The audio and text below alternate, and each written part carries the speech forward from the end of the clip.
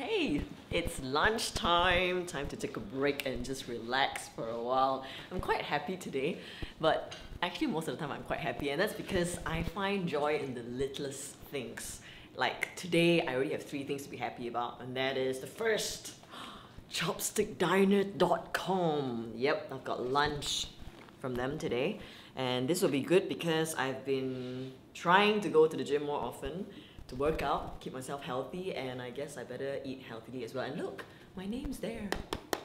And the second thing that's got me quite happy today is also because I've got this running now, Logic Pro. Yay! And that means I can spend some time making music and mixing and all that.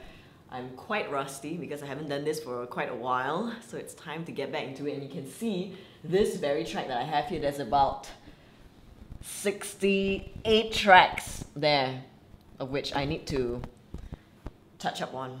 It's a lot of work. I hope I can squeeze some time to do that. But here's the third thing of which I'm extremely happy about. I've got a new friend, and her name is Miniso. Is it? Yeah, that's right. Miniso! And she speaks with a really funny accent. You wanna have a listen? Oh. Oh. It's not working. Bluetooth. Waiting for Bluetooth connecting. Bluetooth, waiting for Bluetooth connecting. Isn't she funny? Yeah, yeah. So she cheers me every time I hear it. Oh, there she goes again.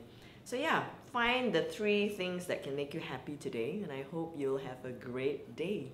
So I'll see you in the next vlog. Remember, if you do have anything you'd like me to talk about more in terms of singing or even public speaking, just post your comments below. Otherwise, remember to check out the last vlog of which I will be demonstrating to you how anyone can sing, how anyone can belt.